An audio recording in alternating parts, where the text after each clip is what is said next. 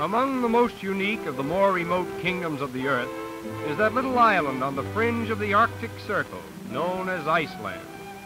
Its first colonists were wise and high-born chieftains or Vikings who brought from their mother country, Norway, an already advanced civilization over a thousand years ago.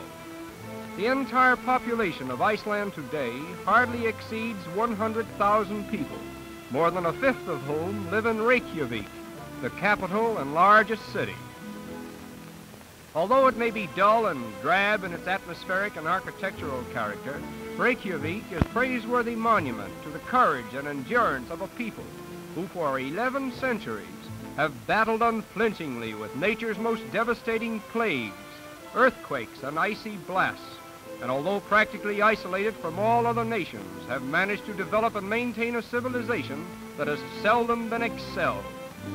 In this dreary land of brief summers and long winters, where green grass, flowers, trees, and even sunshine are the rarest of luxuries, the descendants of the Vikings have built their homes and reared their children, stoically teaching them to carry on the great fight with nature, which is the unfortunate heritage of every child born in this grim land of the Vikings. Most of the women still appear in the old Icelandic costume, handed down from mother to daughter.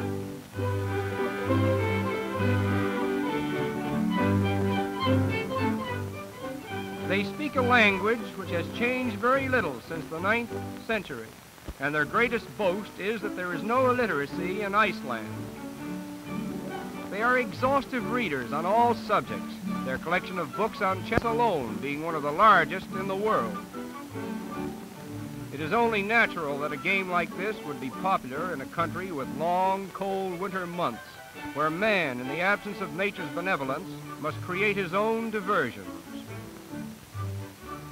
Verily, nature has not been kind to Iceland, with its vast and desolate volcanic plains, upon which the sun seldom shines, and little or nothing may be cultivated. As a matter of fact, only 7% of Iceland's soil is capable of cultivation, and most of this is devoted to the growing of hay for the little Icelandic ponies.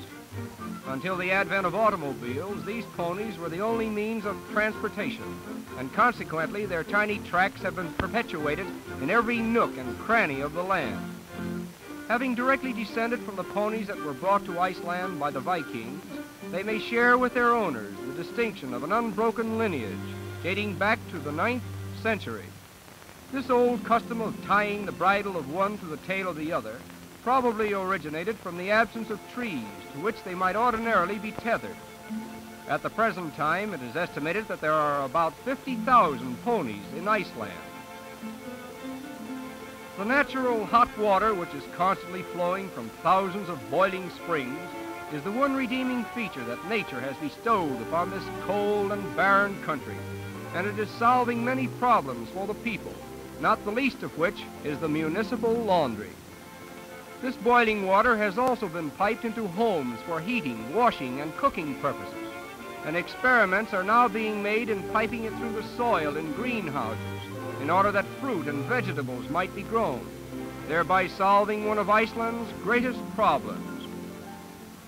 The ceaseless activity of these hot springs, as well as frequent volcanic eruptions, are grim reminders that hid, for if it were not for fish, there would be no logical reason for human life in this weird country. The waters directly surrounding the coast of Iceland abound in marine growth that attracts fish in overwhelming numbers, and consequently the destiny of every Icelander, from childhood to old age, is interwoven with the fishing industry. Although many species of fish are caught, the bulk of the catch is usually codfish.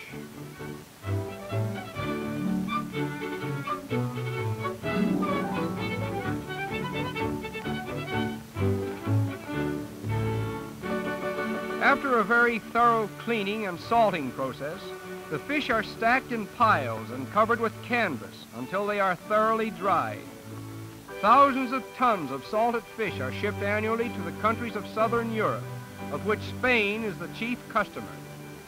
Until recently, Iceland had a very strict prohibition law, which was enforced without difficulty until Spain threatened to withdraw its orders for fish if Iceland did not renew its orders for Spanish wine. And as a result, the law of prohibition succumbed to the law of reciprocity. The Icelanders by nature, however, are not an alcoholic people. Although their environment may be stark and colorless, they accept it as a natural condition which does not seem to affect their peace or contentment.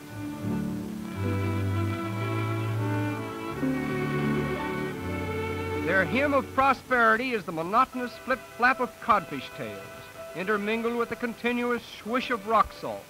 And out of this drab industry, Iceland has evolved a standard of living that provides reasonable wages, employment for everybody, and a system of law and order which requires neither a police force nor a jail. The national sport called Glima is a form of wrestling that originated in Iceland over a thousand years ago and is practiced today with much formality. Although Iceland is still under the dominion of their own flag, and it aspires to be an independent republic again, even as it was in the 11th century when the Vikings assembled on their fields of sport to witness their Glima exactly as we see it here. To touch the ground with any part of the body except the feet or the hands constitutes a fall. When both contestants fall together, it is considered a draw.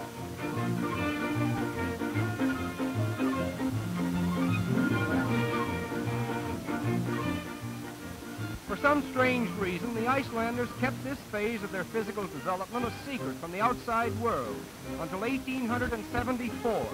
And although it has now been divulged to foreigners, it still confines itself exclusively to Iceland, thereby making its champions the champions of the world.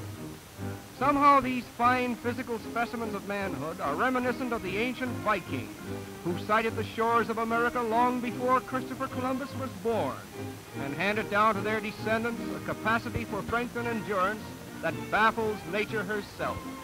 And it is with this thought that we say farewell to Iceland, the land of the Vikings.